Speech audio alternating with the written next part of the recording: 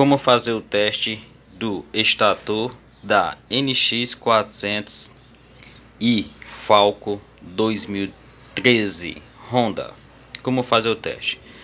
Iremos desconectar o conector aqui do estator, nesse conector aqui, onde tem os três fios amarelos, certo? Iremos desconectar, tirar os fios e fazer os testes de resistência, de voltagem alternada de corrente de continuidade, certo? Então vamos desconectar e fazer os testes. Vamos lá. Pronto, já desconectado, já retirei os, o conector, os terminais do conector e agora vamos usar o multímetro. Multímetro na escala de 200 ohms, sempre quando for medir resistência de estator, certo? Na escala de 200 ohms ponto de prova preta em um dos fios amarelos, ponto de prova vermelha no outro fio amarelo. A resistência tem que ficar em média de 0,1 a 1 ohms. Espera 10 segundos. 0,4 ohms, ok. Tira a ponta de prova vermelha daqui e coloca para esse outro fio. Mesma coisa, 0,1 a 1 ohms. 0,4, 0,3. Então está ok a resistência. Como tem que ficar de 0,1 a 1 ohm, está dentro do padrão. Agora estava com prova vermelha aqui, passei para cá e agora com prova preta sai daqui e vem para cá para finalizar a terceira fase. Resistência 0,1 a 1 ohms está dentro do padrão. Ok, resistência está ok. Agora vamos fazer o teste de continuidade. Iremos colocar a prova preta ou a vermelha no aterramento do motor, certo? Colocar aqui na escala de continuidade. Colocar na escala de continuidade e prova preta ou a vermelha no aterramento aqui do motor, certo? Já está nesse fio e não deu continuidade. Então, ok o teste. Agora no outro fio também não deu quantidade, está ok. Agora no terceiro fio também não deu continuidade, então está ok. Nenhum fio está dando continuidade para o terra, então quer dizer que o estator não está em curto, certo? Então, ok. Agora vamos fazer o teste de voltagem alternada. Multímetro na escala de 200 volts.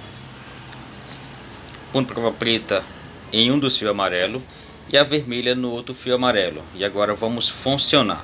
A voltagem tem que ficar em média aí de 12 a 15 volts mais ou menos, certo? Em torno de 1000 a 1500 RPM. E ao acelerar tem que ficar na média de 80 a 90 volts, ok? Então vamos lá funcionar a motocicleta.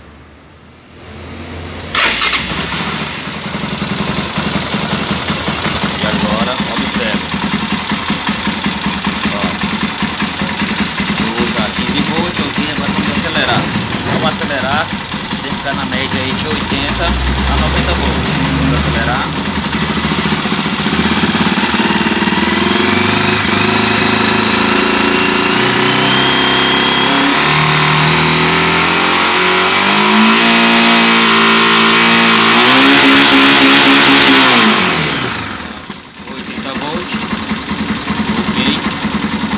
Agora vamos fazer o teste da outra fase com vermelha, sai daqui, vem para o outro fio amarelo e vamos acelerar.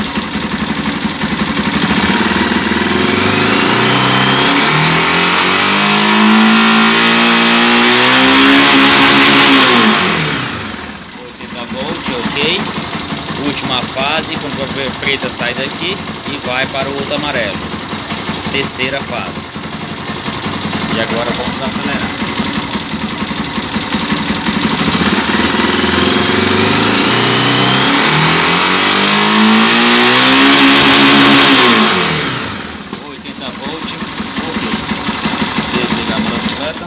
Pronto, então teste de resistência, teste de continuidade e teste de voltagem está ok. Agora vamos fazer o teste de corrente elétrica, certo? Vamos pegar a lâmpada e fazer o teste. Vamos desconectar aqui.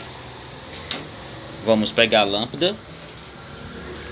Aterramento da lâmpada em um dos fios amarelo e o positivo da lâmpada no outro fio amarelo. Certo? A lâmpada tem que ser uma lâmpada de carro, ok? Esse teste não pode acelerar a moto, somente na lenta esse teste. Funcionar a motocicleta agora. Okay. Agora observe que a lâmpada está acesa, forte. Tira o positivo da lâmpada e um fio e coloca no outro fio amarelo. Olha aí, acendeu também forte. Essa é a segunda fase. Terceira fase, tira o aterramento do fio amarelo e coloca no outro fio amarelo. Também acendeu forte. Ok. Agora colocamos o aterramento da lâmpada, certo? No aterramento do quadro e não pode acender de maneira nenhuma em nenhuma das fases. Primeira fase, segunda fase não acendeu, terceira fase também não acendeu. Então, estator está corretamente, está perfeito.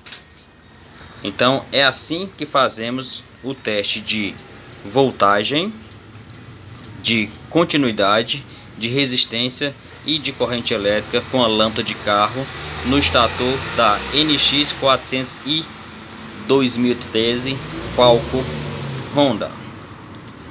Show!